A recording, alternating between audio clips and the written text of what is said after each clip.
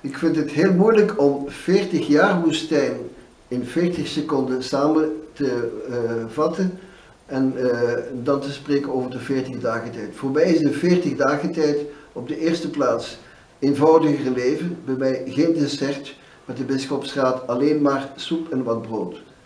Ten tweede is voor mij de 40 dagen tijd echte ontmoeting met mensen in armoede. Ik probeer werkelijk hen te ontmoeten en daarnaast tocht ik ook wel wat naar de wereldwijde broederlijk delen. Ten derde is voor mij ook 14 dagen tijd toeleggen op het gebed. Ik bid mijn psalmen met meer rust en met meer ernst.